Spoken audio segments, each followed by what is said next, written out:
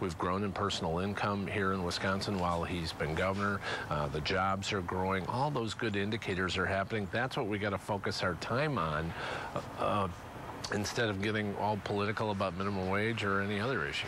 By raising the minimum wage, we put more money into our economy because that money is going to get spent. We reduce the budgets, uh, whether it's federal or state, in terms of uh, public assistance, and people are better able to support themselves. Governor Walker says his policies have and will continue to create more jobs, thereby raising all ships.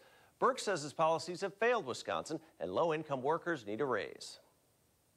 One issue Governor Walker has not sidestepped is his position on the minimum wage, opposing a raise and even going so far as to say it doesn't serve a purpose earlier this week. Mary Burke couldn't disagree more, wanting to raise it to $10.10 an hour.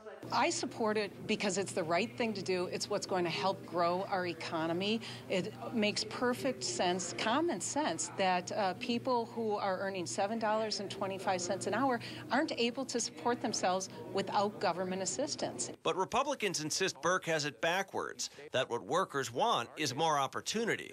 We've grown in personal income here in Wisconsin while he's been governor. Uh, the jobs are growing. All those good indicators are happening. That's what we got to focus our time on.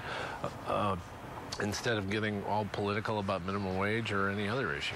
By raising the minimum wage, we put more money into our economy because that money is going to get spent. We reduce the budgets, uh, whether it's federal or state, in terms of uh, public assistance, and people are better able to support themselves. Every poll out there shows a majority of Wisconsin voters agree with Burke, but not as many support her candidacy. She has to hope that will change.